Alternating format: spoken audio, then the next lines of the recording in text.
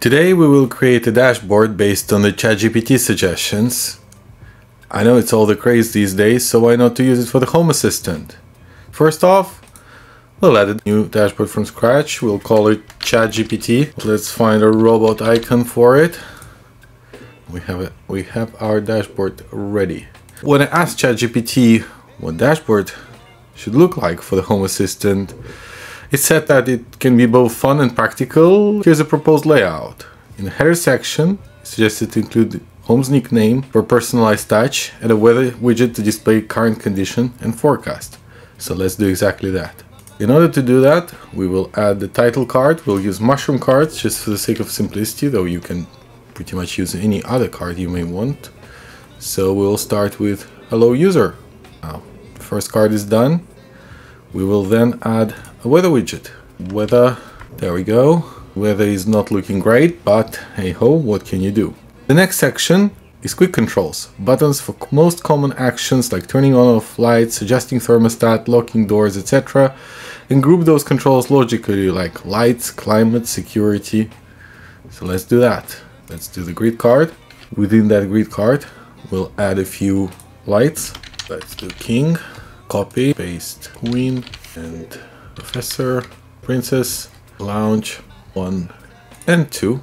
And shall we say kitchen? All right, there we go. We have our light controls. The next one was thermostat, so let's add the thermostat. There we go. By the way, the thermostat card, default card for Home Assistant got so much better these days. It looks really, really good. There's no real need for any other custom cards from HACS. And for security, shall we say we add another grid and call it entity card. There we go, mushroom entity. We're gonna go doors and we're gonna go windows. All right, both of them are unavailable. Don't worry about that. Uh, that would be fixed before we see the end result.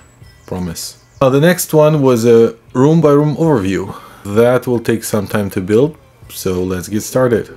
So it says a grid layout with each card representing a room in your house. Start over with the grid card, followed by the area card, then start to knock the areas.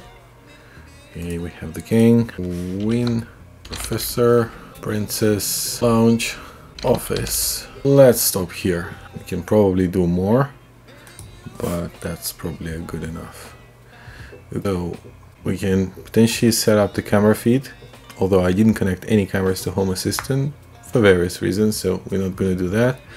Choose navigation paths, alert classes, all sorts, but let's just for now save it and continue working through our list. So we already have lights and switches, exactly like ChatGPT suggested. And it suggested that we do it in such a way that by clicking it, it will expand the full view. Love to do that, but that would require conditional cards, which means we'll stay here for a while. So instead, we'll just build the navigation paths on a different dashboard. That's just going to be easier. So navigation part, kitchen. There you go. Solves the problem just in a slightly different manner. Room by room overview, shall we say complete? Next up, energy monitoring. that's a great question as to how best to do the energy monitoring. How about this? We're going to use cumulated consumption in pounds. Good enough. And there you have it. We have our energy monitoring. The next step is the security section. I'm honestly not entirely sure why we need another security section since we already had it in quick control. So we'll skip over that as ChatGPT just doubling down on the same thing and move over to automation overview. Automation overview may not be a bad idea, so auto entities. That sounds like fun. Auto entities is something you can get on the HACS. In order to do that, you can set the domain, automation, and there we have it. There you go. Exactly what ChatGPT wanted. Notification panel keep over that because at the end of the day there are automations with notifications that you can set up to achieve exactly that. I'm not sure you're going to read through notifications on the dashboard. A lot easier when they come as if and when they happen. So look folks this does not look great does it? So let me do some magic and come back to you when a better looking version. Alright, this looks way better now. We've essentially assembled all of our cars into a single grid, which helps it to look so much more compact and succinct. I'm not entirely sure about the list of all the automations, therefore I will just... And there you have it, nice and easy, nice and beautiful.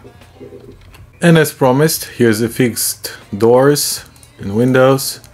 So now it's truly a security thing. Ignore the unavailable bulbs. Unfortunately, the family chooses to switch off at the switch and not use the smart home, so we have to leave the way we have. There you have it. Nice, easy, convenient dashboard developed by ChatGPT. In a matter of seconds, give you some good ideas. If you continue to prompt it, probably will give you some more ideas. So definitely an, a source of inspiration.